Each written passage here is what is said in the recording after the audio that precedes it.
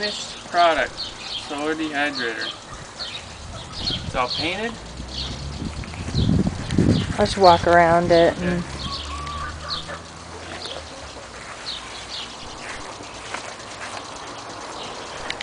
The vents covered in screen.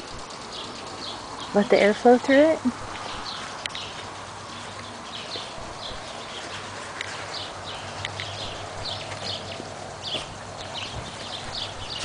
Alright.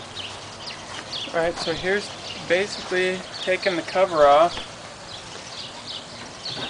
Like so. You can see on the outside here. We got the plexiglass. We got the one by twos sitting here keeping the plexiglass in so it doesn't come out when you move it. So view from the inside. It's a little dirty because it's been out. It's been used. It's been used. Collecting dust. Let me see if I can actually zoom in and get it. This is the inside. You can see the corner braces here that we put on. And then the one by two on the inside that holds plexiglass in for the cover. Okay, I'll hold the cover if you And I don't have any handles on the cover, I just grab it. No big deal. Well, the original design had like a you could do a lift up cover or something like Yeah. that, and That was too complicated. it was too complicated. So here's the trays on the inside. You can see that they're covered with the metal screen. We found out the hard way the first time. We tried to dehydrate strawberries directly on the metal screen and that Hey. didn't work out very well. They melt into the screen, so Yeah. put something like um, parchment paper, wax paper, or something down. You could get those silicone bakeware things and lay those down in there too. So yeah.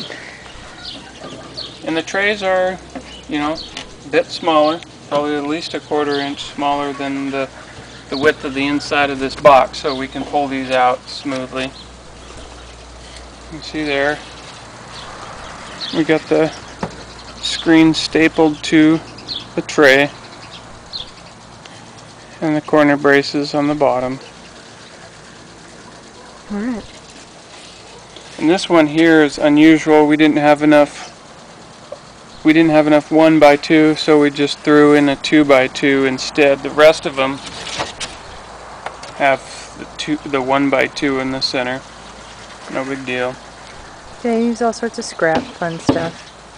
So you got those. Those slide in and out pretty easily. Easily enough, anyway. And then, oh, we need to talk about the the wheels. So we decided to put on the wheels on the front so that it's much easier to roll around. Get the hose out of the way a little bit. So what I did is I took a 4x4 and I cut it, which is actually three and a half inches, I believe. And this is three and a half inches here. And this is a 45 degree angle. So when the whole box is at a 45 degree angle, this will be level. the surface here will be level so you can easily attach wheels to it on the front and on the other side. So all you got to do,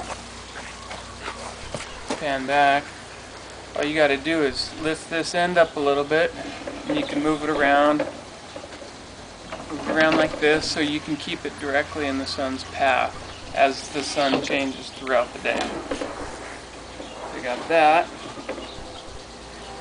And then depending on what wheels you get, it'll dictate how high or low this is. So based on the size of wheel you get, this, the length of this, or how far up or down this is screwed in here, is kind of going to depend on from the designs, depend on how big the wheel is. It's going to be slightly different. So I kind of set this box at a 45 degree angle and then at that point measured this out, cut it, and attached it. And it just happened to be, uh, I believe, 39 and a half inches from here to here to, that's in the drawing. So think that's about it. Finished product. Looks pretty good. Works really well. Yeah, it does. You can put the cover back on.